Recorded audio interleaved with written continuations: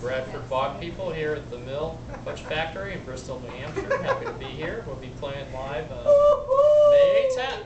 And it's Cheer, brand new cheering, CD cheering. called Boglands. Here's an old time tune called Backstep Cindy. It's on there. Wait a minute, I have to remember this. Yeah, you're on. Try it again. Pick another tune.